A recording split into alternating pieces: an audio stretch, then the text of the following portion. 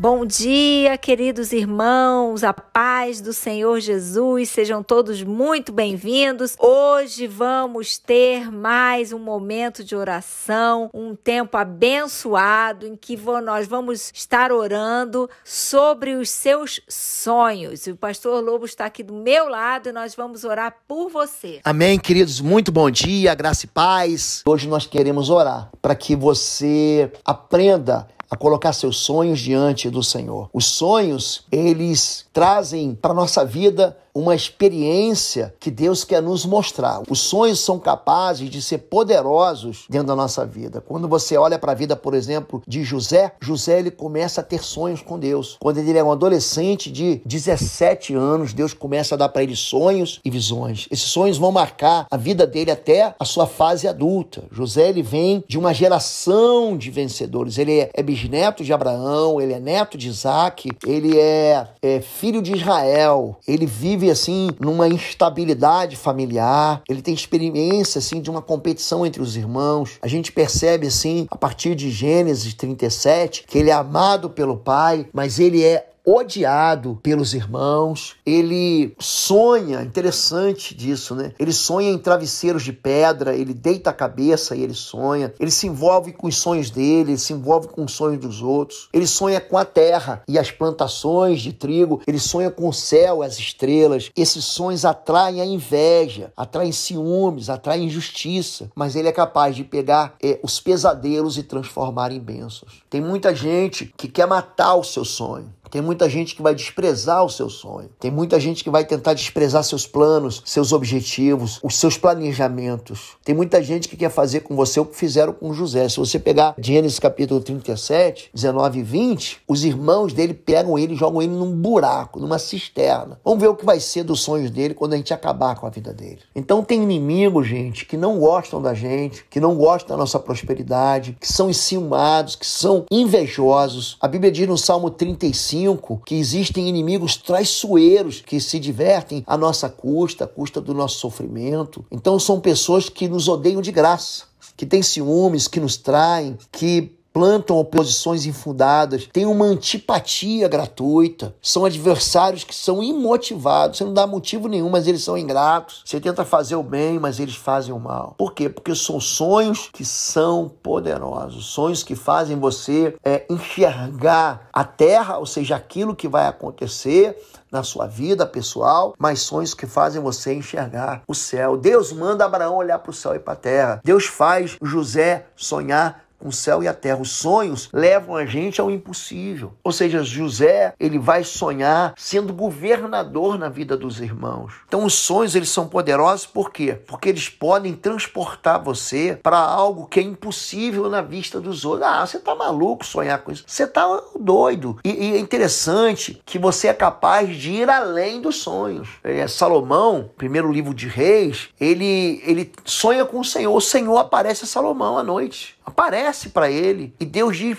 Peça-me o que quiser, num sonho vou te dar. E ele pede um coração cheio de discernimento para governar o povo e capaz de distinguir entre o bem e o mal. Isso é ir além do sonho. Por quê? Porque Deus diz assim: ó, porque você não me pediu riquezas, fama, não vai ter ninguém igual a você. Eu vou dar tudo que você pediu e mais alguma coisa. A Bíblia diz: então Salomão acordou e percebeu que tinha tido um sonho. Então, os sonhos, eles podem, a sua vida pode ir muito além daquilo que você pede. Tem muita gente que negocia os sonhos. Né? Por exemplo, José, ele sonhou, os irmãos dele negociaram ele por algumas peças de prata. Eles veem uma caravana de ismaelitas e vende eles, levam para o Egito. Ali no Egito, os midianitas vendem José a Potifar. Quer dizer, tem sonhos que são negociados, tem sonhos que são desprezados. Tem sonhos que você tem que a pessoa diz: Olha, isso nunca vai acontecer. Você é um sonhador, você está vendo coisas. Gente, a fé ela é capaz de motivar a bênção de Deus sobre a sua vida. Tem gente que tenta comprar teus sonhos.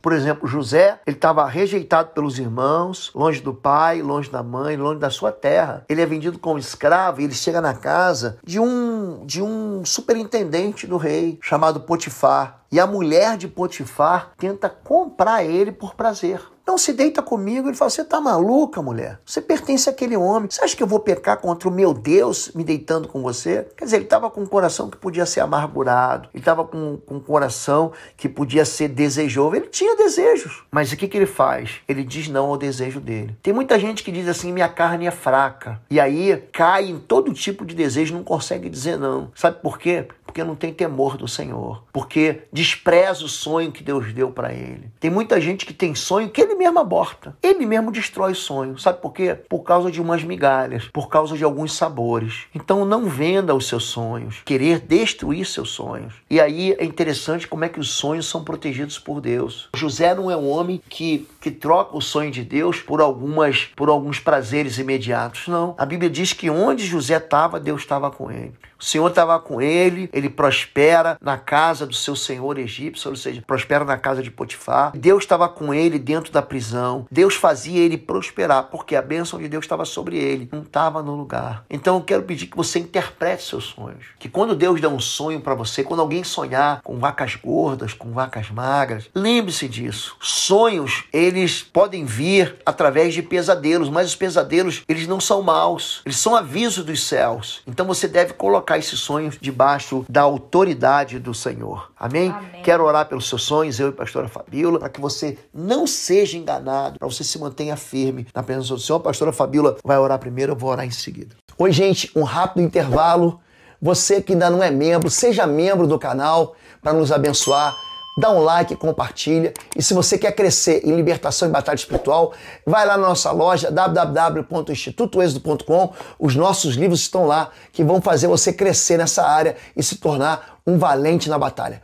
Deus te abençoe. Senhor, meu Deus meu Pai, eu quero pedir, clamar ao Senhor, interceder pela vida dos meus irmãos que estamos juntos nessa manhã em oração, nesse dia, colocando diante do Senhor os nossos sonhos, a nossa mente, o nosso descanso, a hora que repousamos e queremos pedir, Senhor, que o Teu Espírito Santo nos blinde, nos guarde, nos livre, Senhor, de setas inflamadas, de mensagens que não venham do Senhor, de toda e qualquer intimidação maligna que venha, Pai, alguma mensagem que possa gerar em nós temor, insatisfação, tristeza, pânico, Senhor. Pai, em nome de Jesus, que o Teu Espírito Santo traga clareza e se revele, porque sabemos também que através dos sonhos o Senhor fala conosco, Pai. Senhor, que eles estejam intimamente ligados com o Senhor, unidos através do Teu Espírito Santo, que a sua mente seja liberada, o seu sono seja protegido pelo Senhor Senhor, para que o Senhor traga aviso dos céus para a vida deles e que eles entendam, que haja entendimento, Pai. Senhor, em nome de Jesus, eu quero liberar uma palavra, Pai, de liberdade sobre a vida de cada um deles, de entendimento,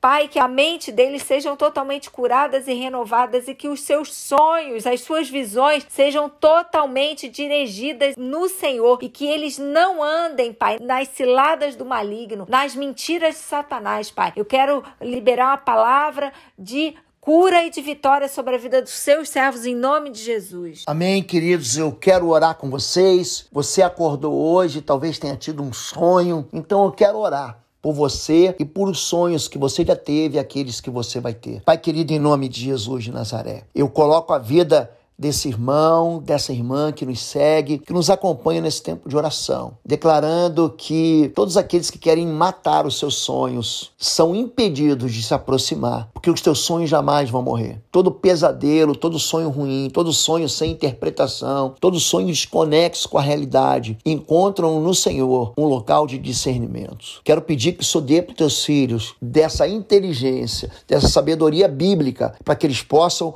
olhar para os sonhos como visões que o Senhor dá em nome de Jesus. Muitas pessoas, Pai, vão ser, vão ter ciúmes, vão traí-los, podem oferecer uma oposição, uma antipatia. São inimigos que a tua palavra chama de gratuitos. Mas eu quero colocar uma barreira, um impedimento com o sangue da cruz entre a vida desses irmãos, dessas irmãs e todos esses inimigos espirituais do Senhor Jesus Cristo. Quero colocar os sonhos de poder que o Senhor tem dado, os sonhos que levam ao impossível, debaixo das tuas mãos poderosas. Eu quero colocar os sonhos é, que são maus também debaixo da tua autoridade e que eles possam ir muito além daquilo que são os sonhos que o Senhor tem para eles. Não deixe teus filhos negociar os planos e objetivos do Senhor. Não deixe ninguém comprar aquilo que o Senhor tem de melhor e nem destruir os sonhos que são protegidos pelo Senhor. Eu os abençoo assim nessa manhã, em nome de Jesus. Amém. Amém, amém, e amém. Deus abençoe Deus a abençoe sua vida você. em nome de Jesus. Se você não nos segue, aproveite e aí e se inscreva no canal Oswaldo Lobos. Temos orado com vocês todas as manhãs às seis da manhã. Nós temos colocado mensagens na área de libertação, batalha espiritual, guerra espiritual,